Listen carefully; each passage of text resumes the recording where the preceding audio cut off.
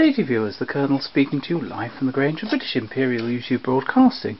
And we've got a rather interesting item today. His Master's Voice C1581, a reducing from The Trials of Topsy by Herbert, by kind permission of the proprietors of Punch. Talking in English by Angela Baddeley. Yes, sister of Hermione. You don't remember her? Mrs. Bridges? From um, upstairs downstairs. Oh, Mr. Hudson! Ruby, you naughty... It's almost as if she was in the room. Anyway, viewers, let's play the record. Trix, darling, have you ever been to a Turkish bath? Well, don't. Of course if you're reducing, but not unless you're simply mountainous. Because recently, darling, I've had the fraction of a worry about my little figure. My dear, nothing sensational. I'm still the world's filth, really. But there's just a teeniest ripple when I bend. And nowadays, if a girl can't jump through a garter, she's gross. Well, somebody once told me this Turkish performance was the quickest thing ever. Well, my dear, they take away all your clothes and give you the most mortifying garments in thick white linen. My dear, like an abbreviated shroud.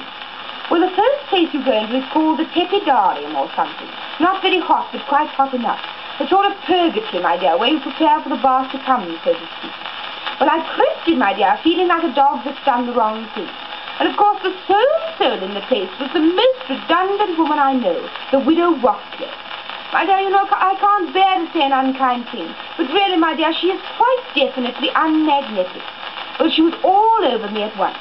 But, my dear, the confidences. Strict, darling, you know I'm not prudish, don't you? But I do think there ought to be some sort of reticence in the tepidarium, don't you? Well, after a bit, something told me I should be quite ill very soon. So I got up in the middle of a sentence and nearly fled into one of the hot rooms. Well, you go through a heavy curtain, and the most awful blast of heat strikes you in the face. My dear, too detonating. I just crumpled up and sat down, and my dear, the seat was red hot. If you could have seen me leap to the roof. So I tottered about like a cat on hot bricks. And my dear, suddenly I realized this room was full of bodies. And I dear, the most undecorative bodies, all pink and shiny with their eyes closed. Well, if you can imagine a lot of enormous dead lobsters with white nighties and very fat arms. Well, then I took a peep into the second hot room. But my dear, too squalid and the heat was blistering. So I went back to the first room. And my dear, imagine my horror. There was the Watcley body laid out with the others. I recognized it at once. Well, she opened one eye at me, and I was terrified she'd plunge into her romances again. So I escaped back into the tepidarium and read the directions. Well, it said you pour tepid water over the head and await the free outburst of perspiration. My dear, you should have seen your poor little Topsy sitting all by herself in a fat child's nightie, dripping tepid water, and waiting and waiting for the free outburst and everything. But, my dear, simply nothing took place, and I was petrified, because I thought perhaps I was abnormal or cold-blooded or something degrading. Well, at last the Watcley came out, looking years thinner already. And yes, she'd practically disappeared, but not quite, unfortunately.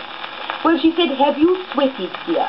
And that will show you what I mean about a Turkish bath. Because, my dear Trix, any place where a woman like the Watcley can come up to a girl and ask her in cold blood if she's sweated, well, there must be a defect in the whole institution. Well, I said, no, I hadn't sweated, but I was doing what a girl could. And she said, you're in the wrong room. If you don't sweat, you have pneumonia. So I said, I'd rather have peritonitis than go back into that insanity oven with the bodies in it. And she said, come and try the Russian steam bath. So she took me to the most antagonizing cell and let off masses of Russian steam. My dear, too alarming.